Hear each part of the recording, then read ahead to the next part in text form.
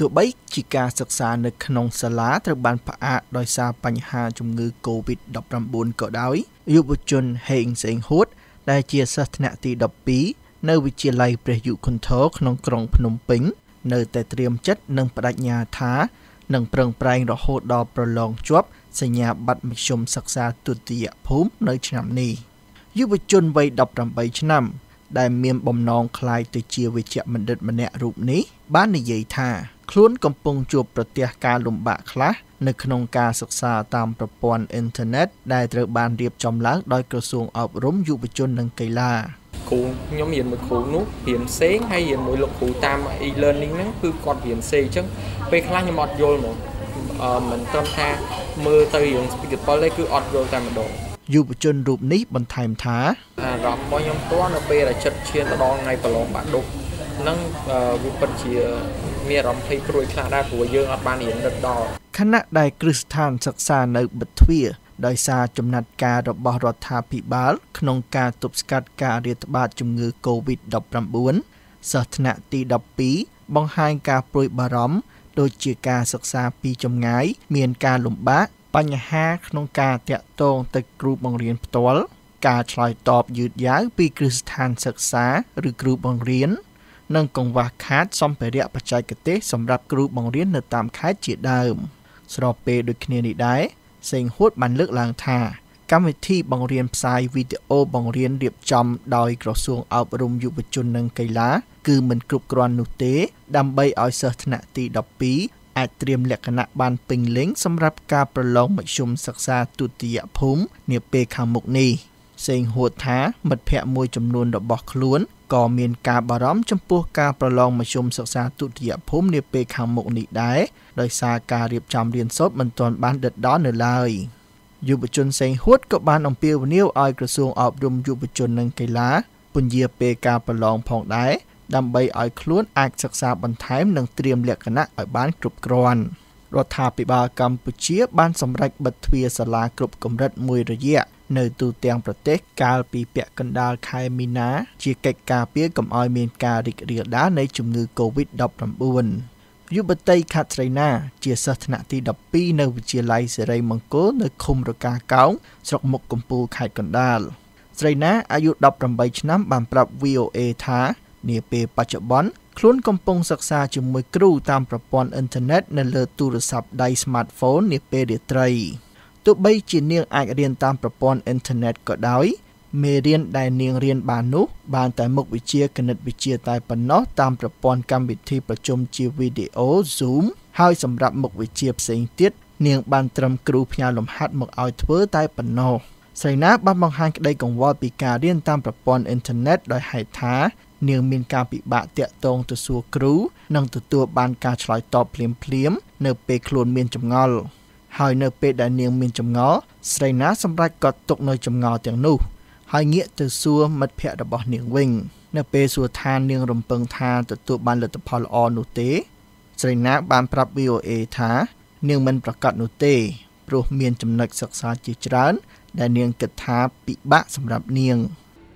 បាក់បាក់និយាយដែរបងអានឹងវាអត់ប្រកាសចឹងបងព្រោះថាវាមានចំណុចខ្លះពិបាកច្រើនដែរចឹងបង ស្រីណាបានប្រាប់ VOA បន្តទៀតថាមិត្តភ័ក្តិមួយចំនួនរបស់នាងក៏ជួបការលំបាកផងដែរដោយសារតែពួកគេមិនអាចរៀនទាន់និងយល់ឲ្យបានច្បាស់តាមរយៈការរៀនតាមប្រព័ន្ធអ៊ីនធឺណិតខ្ញុំគិតថាអាចជួយបានតែមនុស្សមួយចំនួននេះបងព្រោះថាខ្ញុំរៀនផ្ទាល់ជាមួយពួកគាត់តម្លងនៅសាលាបងខ្ញុំនិយាយតាមត្រង់ណាលោកគ្រូក៏ដាក់កម្រិតផងអីផងនៅមានអ្នកខ្លះរៀងចាប់ចឹងណាបន្ថែមពីលើនេះទៀតស្រីណាគិតថា ប្រសិនបើសាលារៀនបើកទ្វារឡើងវិញជាការប្រសើរព្រោះនាងអាចមានលទ្ធភាពទៅរៀនគួរបន្ថែមយុវតីលីលីហួរជាសិស្សថ្នាក់ទី12មួយរូបទៀតនៅសាលាឯកជន Belty សាខារិស័យកៅក្នុងក្រុងភ្នំពេញលីហួរបានប្រាប់ VOA ថាការរៀនសូត្ររបស់នាងកំពុងប្រឈមនឹងការលំបាកដោយសារតែត្រូវរៀនតាមប្រព័ន្ធអ៊ីនធឺណិតនិងឆ្ងាយពីគ្រូដូច្នេះនាងមានការពិបាកនៅក្នុងការតាក់ទងសួរគ្រូ ប្រសិនបើនាងជួបបញ្ហាផ្សេងផ្សេងពាក់ព័ន្ធនឹងមេរៀនចំពោះការការរៀនវាយើងពិបាកបន្តិចទេបងព្រោះដោយសារតែយើងនៅឆ្ងាយពីគ្រូហើយយើងមានកត្តាជាច្រើនដែលយើងត្រូវពង្រឹងខ្លួនឯងព្រោះធម្មតាតែយើងនៅរៀងឆ្ងាយពីគ្រូអត់គ្រូនាំមុខអានឹងវាយើងពិបាកចំពោះខ្លួនឯងហើយខុសពីស្រីណាទោះបីជាត្រូវរៀនតាមប្រព័ន្ធអ៊ីនធឺណិតក៏ដោយ យុវតីលីហួរដែលកំពុងរៀននៅសាលាឯកជនទទួលបានការបង្រៀនគ្រប់មុខវិជ្ជាទាំងអស់តាមប្រព័ន្ធកម្មវិធីផ្ញើសារ Telegram និងកម្មវិធី Zoom លើកលែងតែមុខវិជ្ជាភាសាអង់គ្លេសតែប៉ុណ្ណោះហើយនាងរៀនពីថ្ងៃច័ន្ទដល់សុក្រចាប់ពីម៉ោង7កន្លះដល់ម៉ោង11ព្រឹកពីដំបូងឡើយលីហួរមានសង្ឃឹមខ្ពស់នៅក្នុងការធ្វើឲ្យបានល្អចំពោះការប្រឡងថ្នាក់ទី12ខាងមុខយ៉ាងណាក្តី នាងនៅតែមានការបារម្ភចំពោះការប្រឡងមធ្យមសិក្សាទុតិយភូមិនាពេលខាងមុខនេះដោយសារតែមុខវិជ្ជាខ្លះតម្រូវឲ្យនាងរៀនគួរបន្ថែមចាបងអឺដំបងឡើយខ្ញុំរៀនសង្ឃឹមរៀនខ្លាំងបងព្រោះការសំមីទី1គឺអានឹងបានល្អនៅពេលដែលយើងរៀនបានដដល់រៀនបានជាប់ជាមួយគ្រូនៅចិត្តគ្រូយើងអឺមានការយល់ច្បាស់ពីមេរៀនដល់ពេល ចាប់ពីគេឈប់មកគឺអីអីដូចវាអត់សូវដំណើរផលបងស្របពេលដូចគ្នានេះនាងបានប្រាប់ VOA បន្ថែមថានាងមិនមានពេលគ្រប់គ្រាន់ដើម្បីមើលវីដេអូបង្រៀនចាក់ផ្សាយតាមទូរទស្សន៍នោះទេព្រោះត្រូវជន់ពេលវេលាដែលនាងត្រូវជួយម្ដាយមីងនៅក្នុងហាងអ៊ុតសក់លីហួររៀនខ្សោយផ្នែកភាសាខ្មែរប៉ុន្តែនៅពេលរៀនជាមួយគ្រូផ្ទាល់លីហួរសង្កេតឃើញថាការរៀនរបស់នាងបានប្រសើរឡើងជាងមុន យ៉ាងណាក៏ដោយ មួយរយៈនេះការសិក្សាផ្នែកភាសាខ្មែររបស់នាងហាក់ដូចជាថមថយទៅវិញបន្ថែមពីលើនេះទៀតយុវតីលីហួរបាននិយាយថាមិត្តភ័ក្តិរបស់នាងសឹងតែគ្រប់គ្នាកំពុងជួបការលំបាកក្នុងការសិក្សាដូចនាងដែរដូចជាការរៀនបណ្ឌិតដល់ការរៀនមិនទាន់និងការលំបាកក្នុងការប្រស្រ័យទាក់ទងទៅអ្នកដទៃនៅពេលមានចម្ងល់លើលំហាត់គ្រូបង្រៀនជាច្រើនយល់អំពីការលំបាកនិងការប្រឈមដែលមិនធ្លាប់មានរបស់សិស្សយ៉ាងណាក្តី ពួកគាត់នៅតែបន្តខិតខំបង្រៀនតាមប្រព័ន្ធអ៊ីនធឺណិតនិងលើកទឹកចិត្តឲ្យសិស្សបន្តខិតខំសិក្សារៀនសូត្រអ្នកគ្រូកឹមសុថារី ជាគ្រូមួយរូបនៅសាលារៀនចំនួនថ្មីក្នុងវិទ្យាល័យព្រះស៊ីសវត្តក្នុងក្រុងភ្នំពេញអ្នកគ្រូបានបង្រៀនមុខវិជ្ជាជីវវិទ្យានៅសាលារៀនចំនួនថ្មីអស់រយៈពេល3ឆ្នាំមកហើយនៅគណៈពេលកម្ពុជាកំពុងព្យាយាមការពារការរាតត្បាតជំងឺ Covid-19 អ្នកគ្រូបានលើកទឹកចិត្តឲ្យសិស្សបន្តការសិក្សានៅផ្ទះហើយអំពាវនាវឲ្យឪពុកម្ដាយលើកទឹកចិត្តនិងផ្ដល់ឱកាសឲ្យកូនរបស់ខ្លួនអាចរៀនសូត្រនៅផ្ទះនាពេលបច្ចុប្បន្នអ្នកគ្រូសុថារីបានឲ្យដឹងថា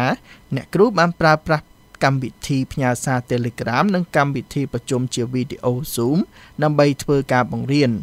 អ្នកគ្រូបានបន្តថា នៅពេលដែលកូនសិស្សមានបញ្ហា អ្នកគ្រូនឹងធ្វើការតាក់ទងទៅកូនសិស្សផ្ទាល់ ហើយក្នុងករណីដែលកូនសិស្សតាមមិនទាន់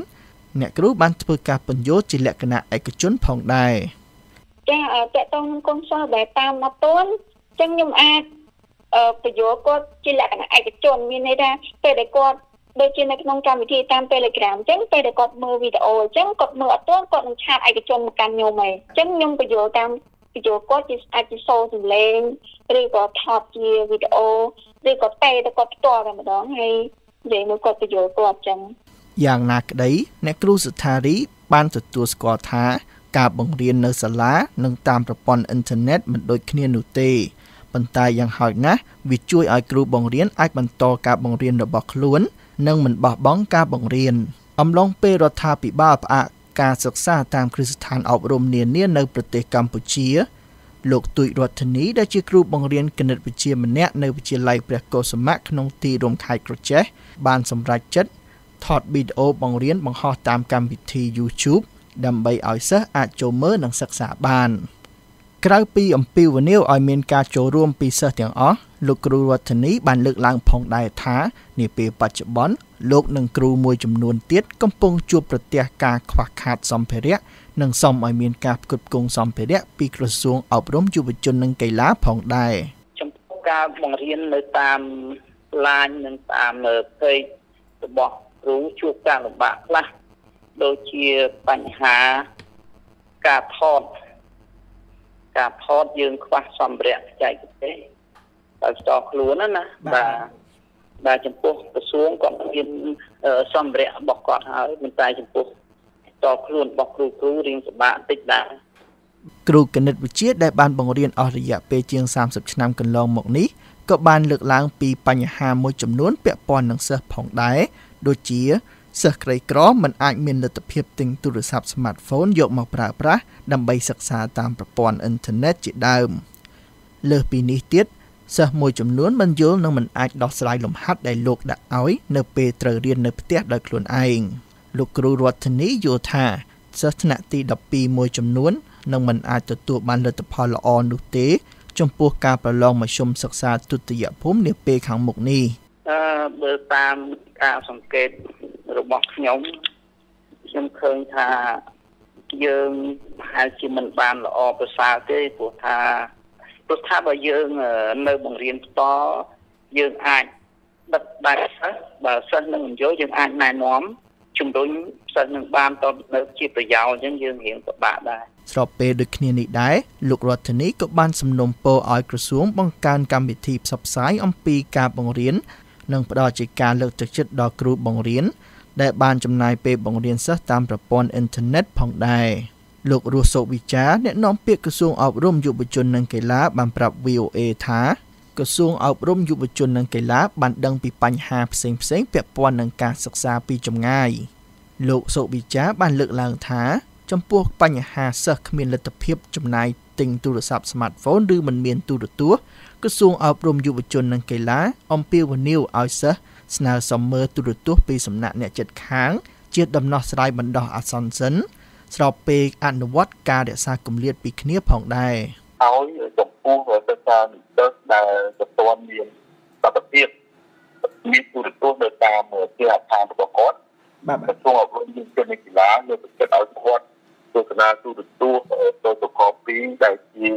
ប៉ុស្តិ៍ទូរទស្សន៍ថ្មីរបស់ទូរទស្សន៍ជាតិកម្ពុជាស្ដីពីការអប់រំនៅតាមជាមួយនឹងលក្ខខណ្ឌរបស់ គាត់ទៅគណៈពេលដូចគ្នានេះដែរលោកសុវិចាក៏បានស្នើឲ្យមានការអន្តរាគមន៍ពីគ្រូបង្រៀនតាមមូលដ្ឋាន ដើម្បីជួយទៅដល់សិស្សដែលកំពុងជួបប្រទះបញ្ហានៅក្នុងការរៀនសូត្រពីចម្ងាយ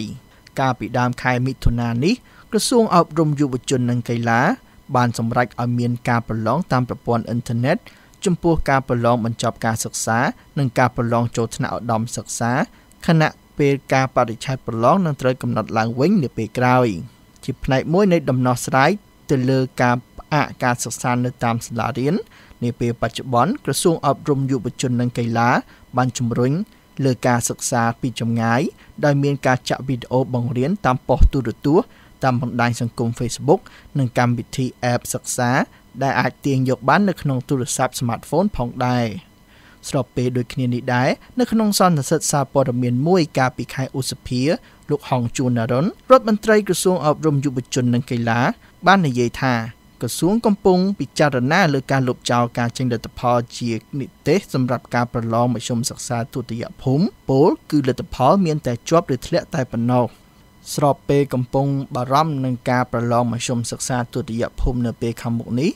យុវជនហេងសេងហួតដែលចង់ក្លាយទៅជាវិជ្ជបណ្ឌិតម្នាក់ក៏មានក្តីកង្វល់ផងដែរក្នុងការត្រៀមលក្ខណៈឲ្យបានគ្រប់គ្រាន់នៅក្នុងការប្រឡងឲ្យជាប់ដើម្បីចូលរៀនផ្នែកវិទ្យាសាស្ត្រដែលជាក្តីស្រមៃរបស់ខ្លួន